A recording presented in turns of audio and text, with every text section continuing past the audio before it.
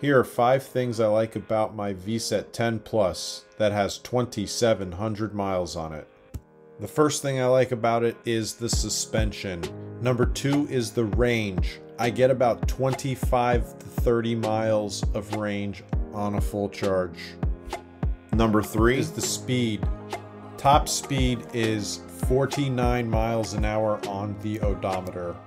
Number three is the reliability. I haven't had any major issues in 2,700 miles. Number four is the fun. I take it everywhere with me. And finally, the build quality is excellent.